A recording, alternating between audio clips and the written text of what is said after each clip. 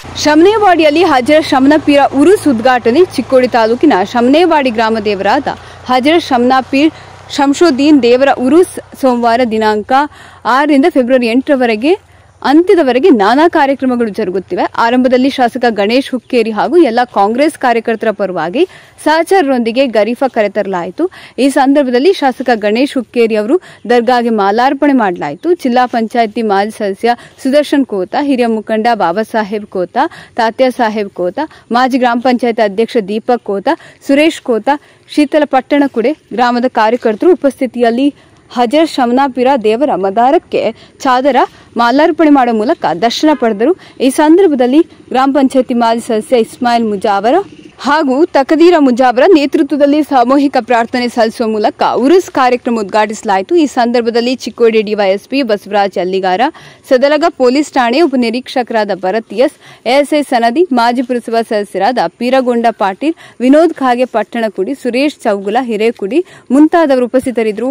Muslim ಸಮಾಜದ ಅಧ್ಯಕ್ಷರಾದ ನವಾಜ್ ಮುಜಾವರ, ಉಪಾಧ್ಯಕ್ಷ ಶಬ್ಬೀರ ಮುಜಾವರ, ಕಾರ್ಯದರ್ಶಿ ಫಿರೋಜ್ ಪಾನಾರಿ ಮತ್ತು ಹಜರ ಶ್ರಮನಾಪಿರ ಉರುಸ್ ಕಮಿಟಿಯ ಹಾಗೂ ಸುನ್ನತ ಮುಸ್ಲಿಂ ಜಮಾತಿನ ಸದಸ್ಯರು ಹಾಗೂ ಕಾರ್ಯಕರ್ತರ ವತಿಯಿಂದ ಶಾಸಕ ಗಣೇಶ್ ಹುಕ್ಕೇರಿ ಅವರೊಂದಿಗೆ ಉಪಸ್ಥಿತರಿರುವ ಎಲ್ಲಾ ಗಣ್ಯರನ್ನು ಸನ್ಮಾನಿಸಲಾಯಿತು.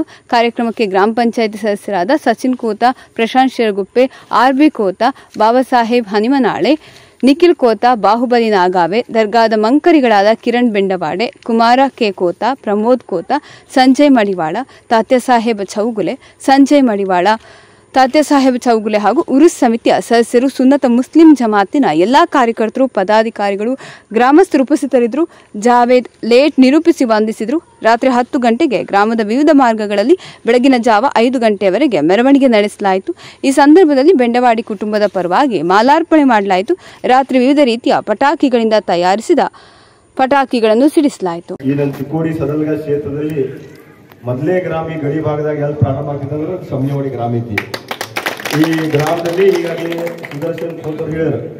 ಸನ್ಮಾನ್ಯ ನಮ್ಮ ನಾಯಕರಾದ ಸನ್ಮಾನ್ಯ ಪ್ರಕಾಶಣ್ಣ ಹುಕ್ಕೇರಿ ಅವರ ನೇತೃತ್ವದಾಗಲಿ ನಾನಾಗಲಿ ಸತತವಾಗಿ ಈ ಭಾಗದಾಗ ಅಂದ್ರೆ ಈ ಜನ ಎಷ್ಟು ಪ್ರಜ್ಞಾವಂತದಾರಂದ್ರ ಪ್ರತಿಯೊಂದು ಕಾರ್ಯಕ್ರಮಗಳಲ್ಲಿ ಪ್ರತಿಯೊಂದು ಯಾವ ಒಂದು ಒಳ್ಳೆಯ ಕಾರ್ಯಕ್ರಮದಾಗ ಎಲ್ಲ ಸಮಾಜದವ್ರು ಕೂಡಿ ಆ ಕಾರ್ಯಕ್ರಮ ಯಶಸ್ವಿ ಮಾಡಿ ನಮ್ಗೊಂದು ಒಳ್ಳೆ ಸೂಚನೆ ಕೊಡ್ತಾರಂದ್ರೆ ಸಮನ್ವಯ ಗ್ರಾಮ ಅಂತ ನಾವು ಒಂದು ಅಭಿಮಾನ ಹೇಳ್ಬೋದು ಯಾಕಂದ್ರೆ ಇವತ್ತು ನಾವು ಊರಾಗ ನೋಡಿದ್ರೆ ಇದು ಗಡಿ ಭಾಗದಾಗ ಇದು ಮೇಲೆ ಪ್ರಪ್ರಥಮವಾಗಿ ಮೊದಲೇ ನಮ್ಮ ಕ್ಷೇತ್ರ ಯಾವ್ದು ಇದು ಗ್ರಾಮ ಚಾಲು ಅಂತಿದ್ರೆ ಶಮನೆ ಹೊಡಿಯತಿ ಪ್ರತಿಯೊಂದು ಸಮಾಜ, ಎಷ್ಟು ಒಂದು ಅತ್ಯಂತ ಒಂದು ಬುದ್ಧಿವಂತಲಿ ಪ್ರತಿಯೊಂದು ಸಮಾಜ ಯಾವ ರೀತಿ ಒಂದು ಸಮುದಾಯ ಭವನ ಆಗಬೇಕು, ಕಾಂಕ್ರೀಟ್ ಆಗಬೇಕು, ಎಲ್ಲೆಲ್ಲಿ ಒಂದು ತಡೆಗೋಡೆ ಆಗಬೇಕು ಗಂಗಾ ಕಲ್ಯಾಣ ಆಗಬೇಕು, ರೈತರಿಗೆ ಎಲ್ಲೆಲ್ಲಿ ರೋಡ್ ವ್ಯವಸ್ಥೆ ಆಗಬೇಕು ಎಲ್ಲರೂ ಕೂಡಿ ಅಂದ್ರೆ ವಿಚಾರ ಮಾಡಿ ಪ್ರತಿಯೊಬ್ಬರು ಕೂಡಿ ಎಲ್ಲರೂ ಒಂದು ಅಭಿವೃದ್ಧಿ ಕೆಲಸದಾಗ ಎಲ್ಲರೂ ಕೂಡಿ, ಪ್ರತಿಯೊಂದು ಡೆವಲಪ್ಮೆಂಟ್ದಾಗ ಎಲ್ಲರೂ ಕೂಡಿ ಬಂದಿರ್ತಾರೆ, ಆ ನಿಟ್ಟಿನಲ್ಲಿ ಇವತ್ತು ದೇವರ ಆಶೀರ್ವಾದ ಬರೀ ನನ್ನ ಮೇಲಿಲ್ಲ, ಎಲ್ಲರ ಮೇಲೆ ದೇವರ ಆಶೀರ್ವಾದದಿಂದ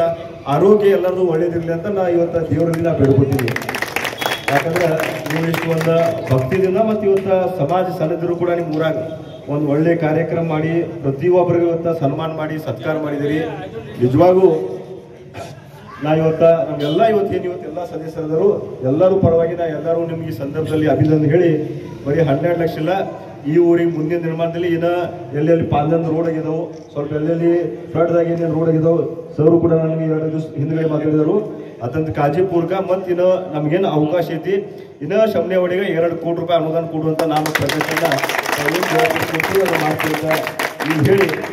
ಸುದರ್ಶನ್ ನಮ್ಮ ಜಂಟಿ ಮೆಂಬರು ಕೂಡ ಎಲ್ಲರೂ ಪ್ರತಿಯೊಬ್ಬರು ಸದಸ್ಯರ ತಮ್ಮ ಕ್ಷೇತ್ರದಲ್ಲಿ ಒಂದು ಚುನಾಯಿತ ಆದ್ಮೇಲೆ ತಮ್ಮ ಕರ್ತವ್ಯ ಮತ್ತು ಏನು ಜವಾಬ್ದಾರಿ ಐತಿ, ಪರಿಪೂರ್ಣವಾಗಿ ಅವ್ರು ತಮ್ಮ ಕ್ಷೇತ್ರದಲ್ಲಿ ಕೆಲಸ ಮಾಡ್ತಾ ಇದ್ದಾರೆ ಇದು ಕೂಡ ಇವತ್ತು ನಾವು ಬಂದಾಗ ನೋಡಿನಿ, ಪೇವರ ಮತ್ತು ಕಂಪೌಂಡ್ ಅವರು ಕೂಡ ಬರೀ ಇದೆಲ್ಲ ಯಾವ್ಯಾವ ಸಮಾಜ ನೀವು ಏನೇನು ಕೊಡ್ತೀರಿ ಕೆಲಸ ನಾವು ಪ್ರಾಮಾಣಿಕ ನಿಮ್ಮ ಸೇವೆ ಮಾಡ್ತೀರಿ ಅಂತ ಹೇಳಿ ಒಂದೆರಡು ಮಾತು